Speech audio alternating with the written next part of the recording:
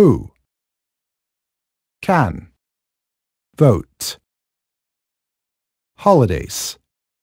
Independence Day. Labor Day. Memorial Day.